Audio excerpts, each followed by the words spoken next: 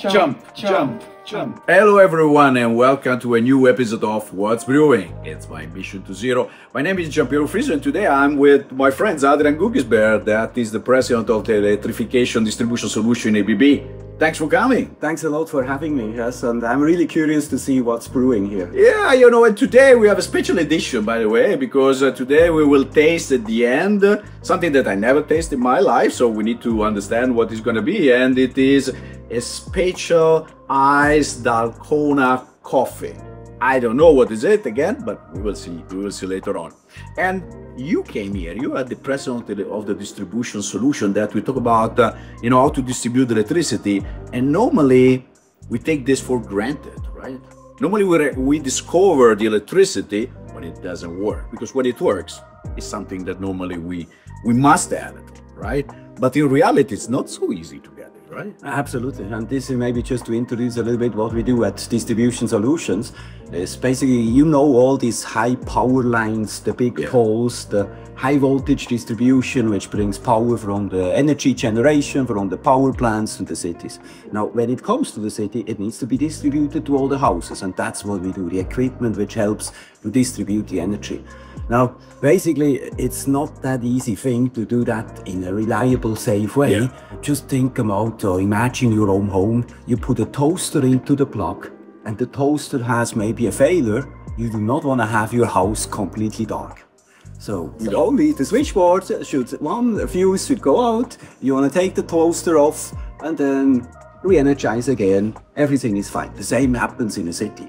Now think about one failure in a city and the whole city would go dark.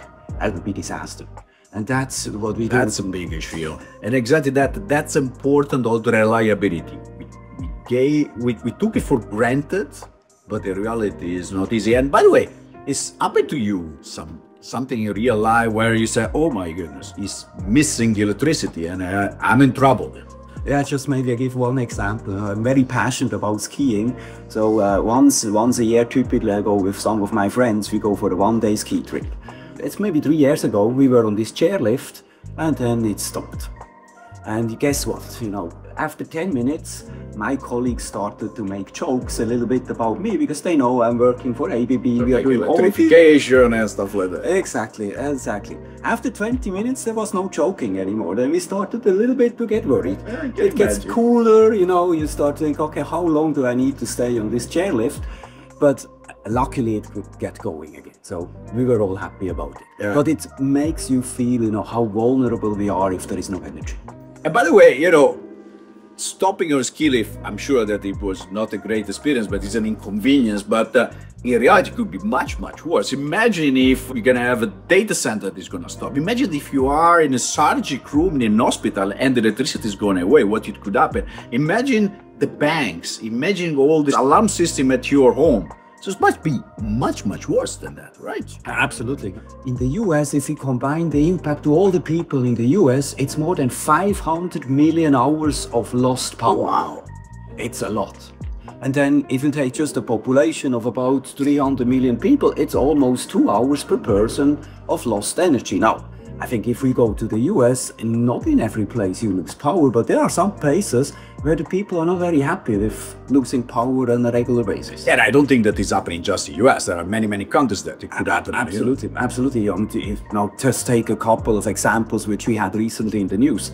Spain or yeah. Portugal. Almost one week to recover. I mean, in the beginning, you know, when there is a short power outages, for that we have solutions. We have backup generation, battery, batteries, we have uh, UPS systems. So that's okay for a few hours, but it goes longer, like in Spain it's going to be dark. Or the other example would be Heathrow. Oh, that's another big one, you know, that it's collapsed all the European aviation for a couple of days. Yes, and, and that's just, you know, so quickly, such a big impact. Also in others, and it's not only in these places, we go, for example, into the Middle East, there we see an exponential growth of severe weather events. And that's something which also comes from the climate change. Yeah So that's where we really need to work. And this, unfortunately, will continue. That's that's the point, or will increase even. Exactly, and that means we have to do something. We have to prepare for it.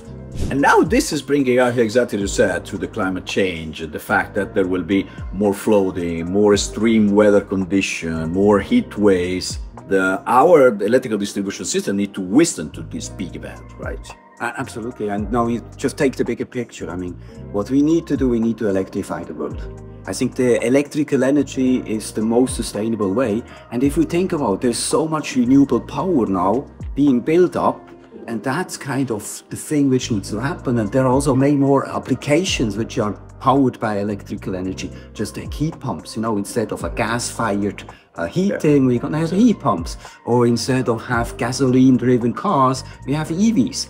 So it's even getting more and more important. Yeah, and electricity exactly is going to be super important also for the climate change, you know, to reduce also the CO2 emission and to electrify to electrify the world, exactly as you say. But what is going to be the future of the electrical? Yeah, what do you that, think about? That's actually pretty cool. And I must say, you know, this is also a part which I would say in our business, we are really at the bright spot. Now, what, what makes it so cool is I think we are doing the right thing for the future, and there is right now a lot of change going on. With, as I said before, all this renewable power coming, a lot of new loads coming, and then we rely on electrical power. We need to make it super resilient. And what is the what's the future? Make it intelligent. It must become more intelligent. And here comes the play. Same time we are talking about AI and we're talking about smart know, grid, whatever. Smart grids yeah. and that means, you know, smart grid means really that we do this in a smarter way. We kind of balance this in a better way. And that's really exciting. Yeah. And exactly that part is bringing us to the fact that in the future we must have more power with lower emission, as, uh, as also you were saying, with more renewable energy and so on. But in the meantime, this is bringing to the fact that if we will have smart grid, digital grid, digitalization, we will also reduce the cost of, of the grid and so the cost for the final consumers right and the industry absolutely you know i call this distribution it's kind of the backbone of the energy transition Without that, it's not going to work. People often talk about the EV cars and talk yeah. about the, the solar power, but if you don't connect this, it's not going to work. If you don't have all the infrastructure, nothing would happen. Exactly. And if we don't make that infrastructure smart, we're going to need a lot of copper and steel in order to make it happen. And that's also not a smart way of doing it. That's great. So now it's time uh, to taste this uh, special edition uh, of coffee with this Ice Dalgona coffee that is coming from South Korea, by the way. So the, the, the, the game is we're going to taste it and after that we're going to rate it. Okay? Okay, and you call it a game. Uh, I don't know. Let's see if it's gonna be a game or whatever. Let's say, but let's try. I guess that you need to do like this.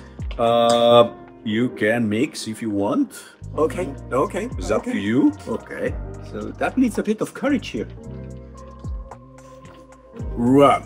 You you can drink and heat in the same time. You know the but the taste is actually is quite it's quite good. The taste is actually quite good. I give it the four. It's more than a drink is is a lunch, but let's say a three, you know, just because it's something weird. But I, normally I like, I'm curious for new things, you know.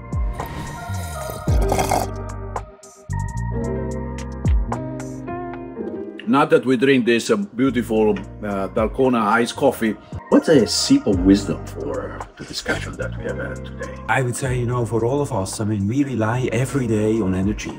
And the electrical energy becomes really the most relevant energy we have. So I think it's really good to be aware something needs to happen. It's not going to get easier and simpler. And that's on one hand, it's a challenge. On the other hand, it's very good news, at least for us in our business. It's so exciting. We can innovate, we can do new things, and we have all this power, we have all this uh, innovation power in, in our company. It's a really cool place to be. And then the other part, we do something really good for the planet. The more we electrify, the more we do this, the more sustainable this planet will become. And that's, I think, is such a good moment and we can be proud of. I cannot be more than agree to you. I think that electrification is the place to be. And we are so lucky to be in such an industry that uh, is creating a huge amount of innovation in order, in order to have more power with lower emission. Thanks again, Adrian, for being with me today and together with all of you. I want to thank you so much for participating to this new episode and I'm looking forward to see you next time. Thank you so much. Thank you.